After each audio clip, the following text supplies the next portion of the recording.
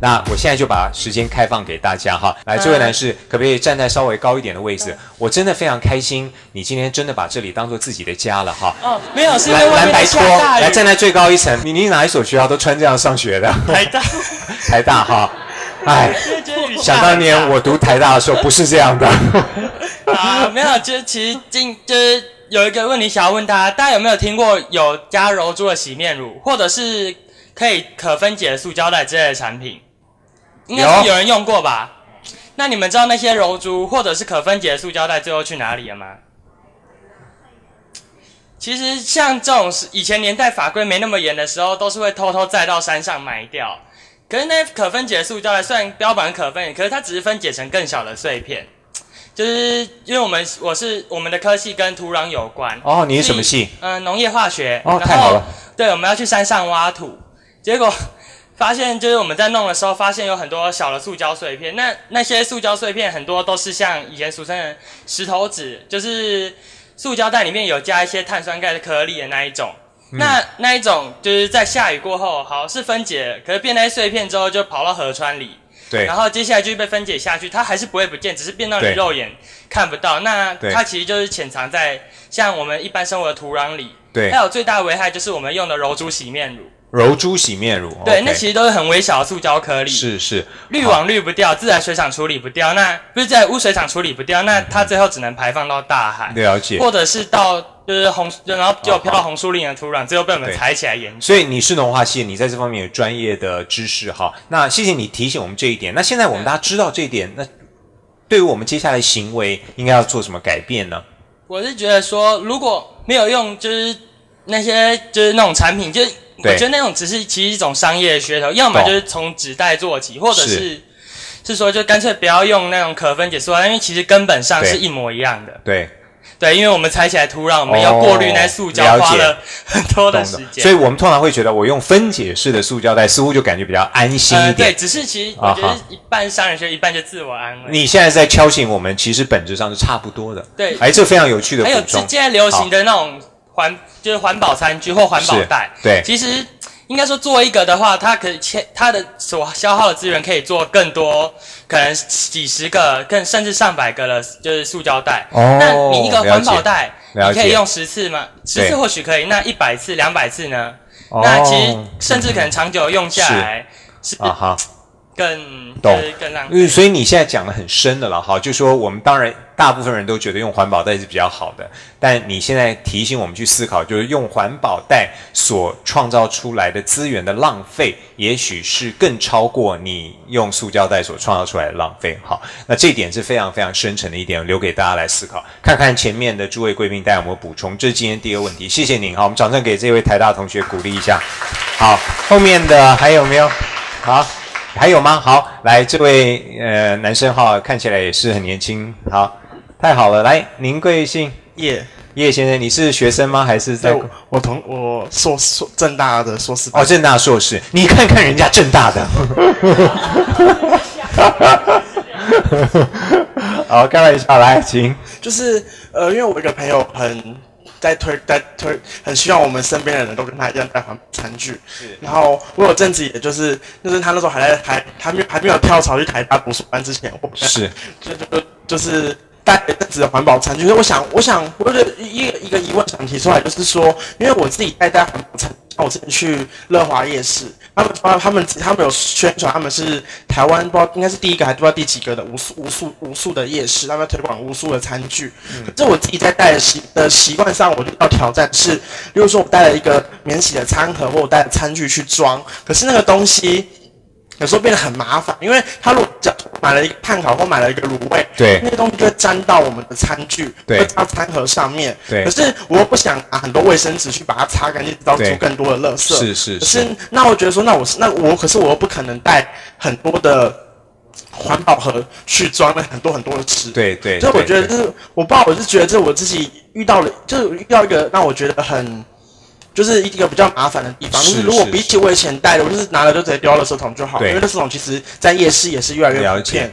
对，好，那我只想说，这是这面环保餐具上反而会所以这位郑大同学也也说出了我们心中也许不敢大声说出的话了哈。我我猜在观念上，我们每个人都支持每个人要带自己的餐具啊，对不对？哈，但是呃，实际上，比如说我临时起意想去夜市买个东西，我不可能先回家把我的环保餐具带了才去夜市买东西啊。纵使我事先计划好要去买，如果我买不同的东西，我要有不同的餐具。他讲的这句话最真实啊，就是真的是很麻烦哈。我不晓得这一点，在座各位的看法怎么样哈？我也谢谢这个问题哈，说出了很多人心声。我们掌声给这位正大同学鼓励一下，好吧？谢谢。好，呃，前面的朋友有没有？我们再听一个问题，就让今天来参加的三位讲者，还有其他几位贵宾来来分享一下哈。您要提出问题吗？好，没有。好，那等我一下，我们听听看最后这个问题。我姓林，双木林，我来自桃园。呃，我想要呃提出一个问题是，今天我们来的人大部分都有带环保的器具，是是，然后也都支持这样的观念，也都有有兴趣关心。可是没来的人在哪里？所以我们在这个同温层里面关在门里面，对和尚念经念了很久。对，所以我们怎么样对还没有来到这里的人，嗯，告诉他们这些做法，或是让他们跟着一起改变？是这其实是我们一直在想要改变的事情。好，这个。是大灾问哈，就是说今天这个族群它代表性到底有多少，我我们不太确定哈。也就是说，我们的观念以及我们的作为哈，到底占台湾整体来讲是多少呢？这个是我们思考怎么样去扩大这同温层。也谢谢你问这个问题哈。这三个问题，请大家选择性的来回答。好，好，呃，我先回答他的这个，就是也就是说要怎么去宣达到每一个人。这其实。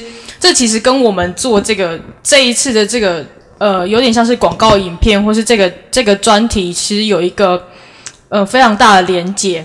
因为因为我们为什么要用这种反差感的东西，就是为了要让一些对于这些东西，因为其实呃许多的文宣哦，它其实已经让我们看到麻痹了。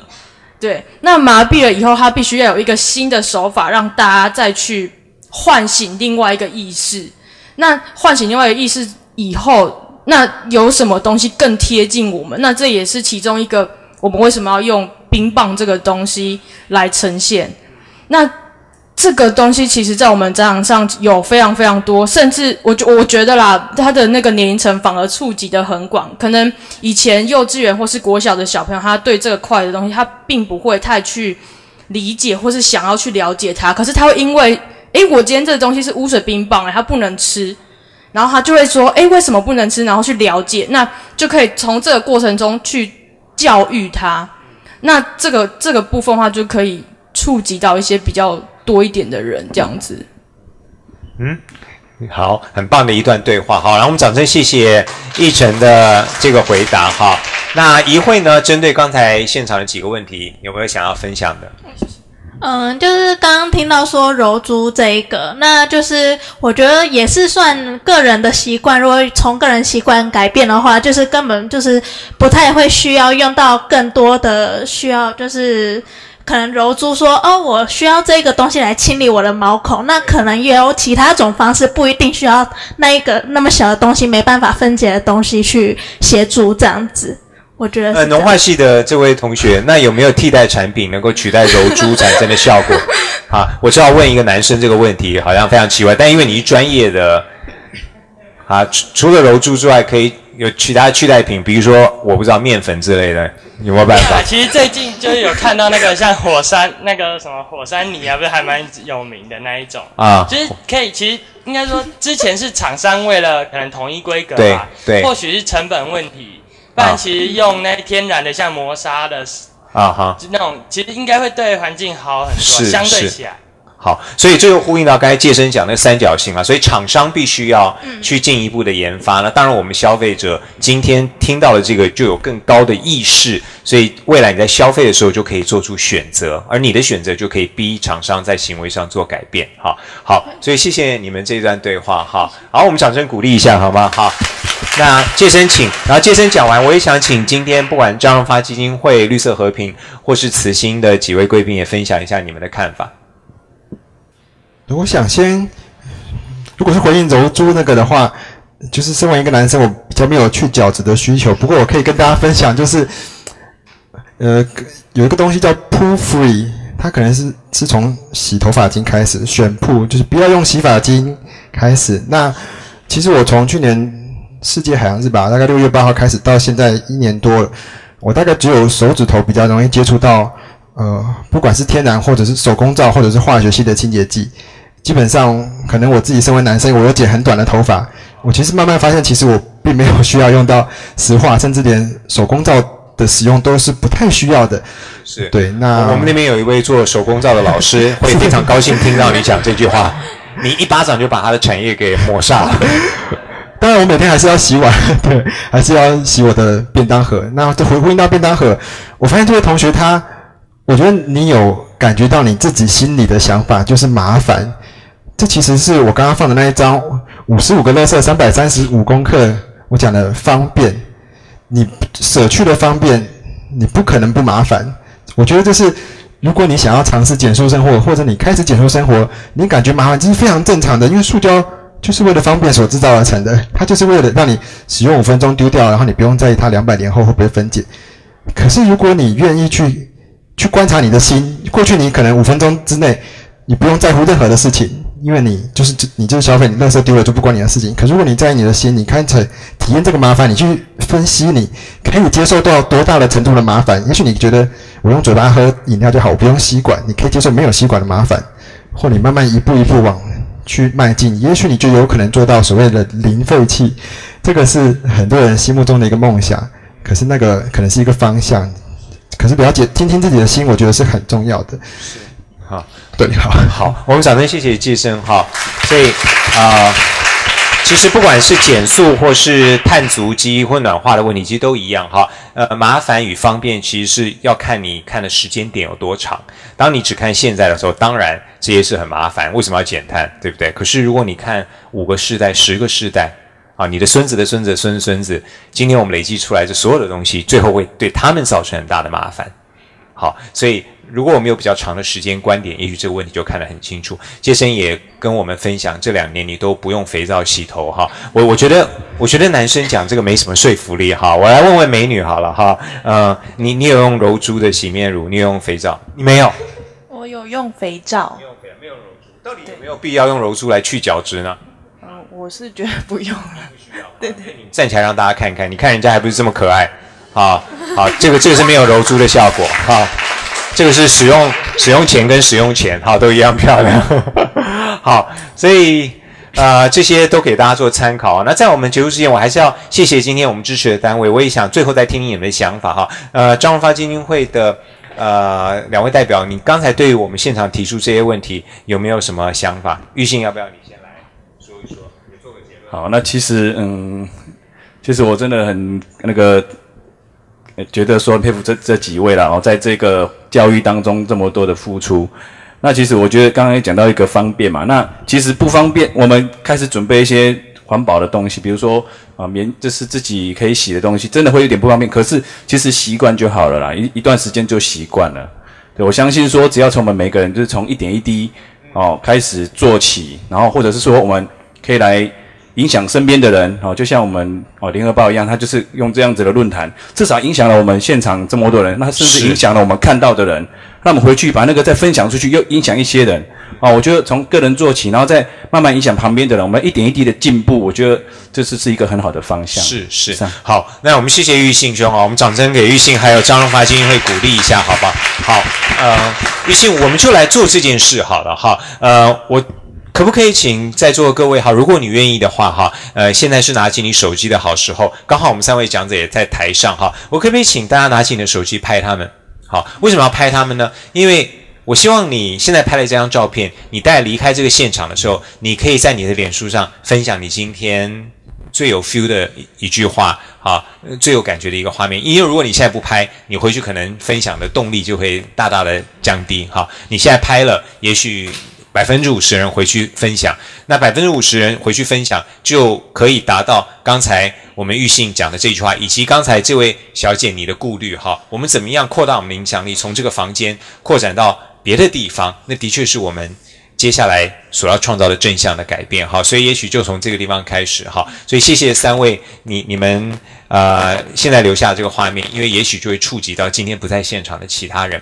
好，好，谢谢玉信。好，那我也可不可以请静娟，你从慈心的角度来，呃，对刚才的问题选择性的来回答。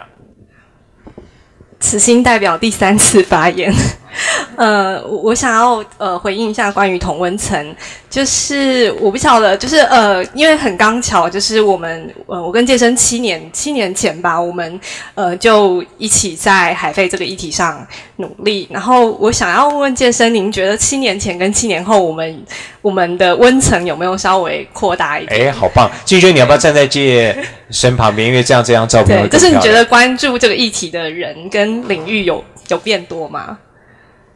嗯，我我我觉得，如果这个议题分成舞台上的人跟观旁观者跟呃不相干或者是完全不在意的人的话，我发现舞台上的人越来越多了。那我觉得是大家可以从不同的角色来思考，就是今天各位来这边，你是在意这个事情的人，可是你可能还没有准备好要踏在舞台上，你还没有站想要去发挥你的影响力，或者是你还不知道你有什么影响力可以产生什么样的影响。可是至少你踏出第一步，你愿意来观察这件事情在改变。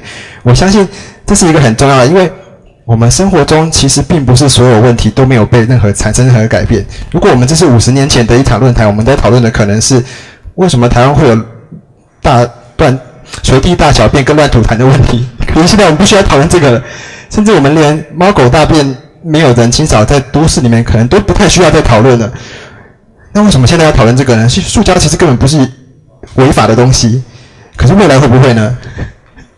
哎，我们社会是不停的在变迁，当然公民永远跑在最前面，政政策跟法规永远跑在最后面，还是管规范呃不听话的人，或者是没有那么积极跟主动的人。可是我相信，只要你今天开始，你愿意去做观察，你六七年后可以看到一些不同的事情，社会是在变动的。好，就是我我我之所以问这个这个问题，我也想分享一下我自己的观察。就是七年前可能就是只有荒野啊，然后绿色和平啊、黑潮海洋文教基金会非常典型的环保团体在谈海贝这个议题。可是七年后，我看到像呃，就是传播的公呃新锐，然后或者是呃，就是社会企业，然后不同的领域开始能够呃进入到这个议题领域。那我觉得其实突破同同温层这件事情也是从从个人开始的。如果我们每个人都愿意突破自己的同温层，去跟自己呃不同看法、不同立场的人开始对话的话，我觉得那个大的同温层就会被突破。这样子，好。好，我们谢谢静娟哈，你今天的参与也帮助我们扩大了这个同温层啊，我们掌声谢谢慈心今天的参与哈。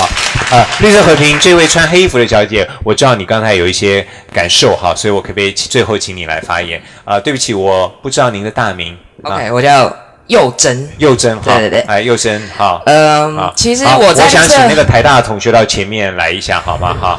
你你，我想要岔题的告诉你一件事情哈，各位请看一下佑珍的脚哈，台大这位同学，除非你的脚有这么漂亮的刺青，否则不要随便穿拖鞋。开你玩笑，来台大同学请坐，我们一起坐在这边听佑珍做个结论。好，我快速分享一下，因为呃，我我在绿色和平的工作是负责做公众动员的，也就是说，我必须把我们组织里面在讲的议题带到社会大众去。可是，其实我们常常会觉得说，我们的目标是不是就是要去接近那些本来就关心环境问题的人？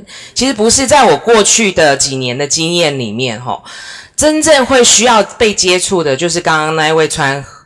棕色呃灰白色横条纹的兄弟，他刚刚说的非常对，就是在我过去的经验里面，遇到大众的反应都是，他们每次看到我出现啊，都会有一种钟馗要来抓鬼的感觉，你知道，就是会害怕。特别你这边有无我啊，对对对对，因为他们会觉得说，呃，每次跟他们对焦的时候，他们眼睛都不敢对焦，因为他会觉得没有，我其实没平常没有在用呃环保习惯，我没有自己带四宝这样子。我觉得从我自己自自身的经验去分享，有时候我我平常骑机车，然后呢，呃，在有在很天真的的时期呢，我就觉得哦，在绿色和平工作我很骄傲嘛，所以我就在我机车后面贴了一个绿色和平的贴纸。这个很反讽吧？就是说，哎，你们不是自己在推行不要呃，对，都搭乘大众交通工具嘛，哈。但是我当时没有意识到这件事情。那后面贴了贴纸啦。那有一天下班刚好要吃东西，我又没有随身带我的那个呃环保餐具，我就去呃某某一个店家，我就买一个什么东西，他用塑胶袋装。我当下也是没有这个意识。用塑料袋用塑料袋装呢，我就把它放吃完了嘛，然后我也就随手乱丢，我就丢在我塞在我自己前面的一个洞里面哈。那就风很大一阵过来，然后就那个塑料袋就就就就飞啊这样子，然后我心里面就在它飞起来那一刹那，我我想到我说完蛋了，我后面贴着绿色和平的贴纸，然后我的塑胶袋现在在空中这样随意的飘扬，这样，我我其实我我的意思是说，这个其实反映很多人他在生活里面讲到的不便利，这个东西呢，在我们呃这几次的经验下来，我发现可以突破一个盲点，就是你要如何把这件事情变成很酷、很潮。比如说，这位同学他说超级麻烦，对不对？如果你今天跟一个你喜欢的女生出去，她不知道你喜欢她，你默默在暗恋她，然后你就拿出了钢铁的吸管，她说那什么啊？然后你就说哦，钢铁吸管，然后她说哦，蛮特别的，我就不相信你会觉得麻烦。你每次跟她出去，你一定会带那个吸管。因为你获得一个莫名其妙的认同，也就是说，今天如果这个 环境教育的东西一直是可能老一辈的人在说，或者是我们环保团体在说，其实我觉得大部分的人还是会觉得，呃，钟馗又来抓鬼了，对不对哈？就是呃，我就不要跟他有眼神交的接触就好了。可是我觉得真正会需要被改变的，被需要心态上面转变的，其实是今天刚刚这位同朋友讲到的，不在我们同温层之外的人。对，所以其实，嗯，对。他也是有一些眼神的闪躲了，我刚刚发现。所以，嗯，也谢谢你哈，这个你为我们下一场活动定了主题，为这整个运动指出了新的方向哈。呃，在我们一开始推广这些观念的时候，也许都是用说教的方式，嗯但您刚才说，其实要用。呃，更酷、更潮、更年轻人能接受的方式，哈，所以我请你到前面来原因，哈，我想问你，现在有女朋友吗？没有哈，那我替你提供一个服务，我让你告诉你现在年轻漂亮女生她们的观念是什么，好吗？好，然后也许你就不会觉得麻烦。来这边这位小姐哈，你也很年轻，你我觉得你们俩在一起哈，我觉得。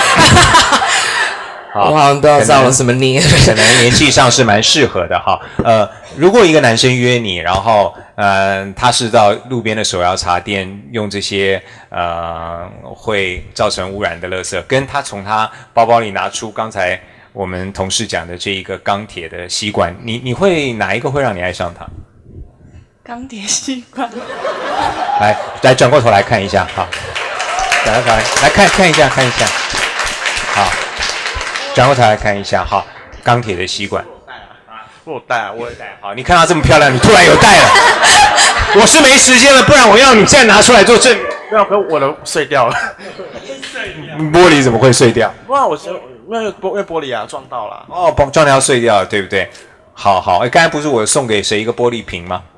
啊，刚才我说，不好意思，我我收回来一下，这样，因为它碎掉了，这样子啊。你看起来本来就很环保，但他怕麻烦，所以我现在从他身上拿过来转送给你，好，好，那希望这个玻璃瓶跟你的心一样啊，不管经过多少的碰撞都不要碎，好。我不知道我在讲什么，但我就让我讲完了，好吗？转头看看，看看我们后面，他不好意思看，多可爱啊！转头看看哈，天底下所有的正妹啊，都喜欢用钢杯和用玻璃瓶的男生，所以不要再去怕麻烦了，好吗？好，要不要最后偷看一下？好，来，我们掌声谢谢他了哈，好。好，我想请我们啊、今天的几位都到台前来好吗？好，然后呃，我想请呃我们呃来请绿色和平的好，然后呃我们一起来吧哈，你不用尴尬，现在很多人了哈，来一起来哈。为什么我要请我们这些贵宾郑重愿不愿意到前面来？因为今天台上的这一群人带领我们做了一个晚上非常有趣的讨论哈。好，来好。你你这么不情愿，我再帮你问一个问题：你比较喜欢坐在台下的人，还是比较喜欢站在台上的男生？都喜欢。你也配合一下，好，他都喜欢哈。现在站在台上这一群人，今天晚上跟我们探讨了一个我们非常熟悉的观念，但是他让我们更深刻的了解了哈。所以我想邀请脸书上朋友以及在座每一位哈，热烈掌声给我们这一群朋友鼓励一下好吗？好，好，谢谢。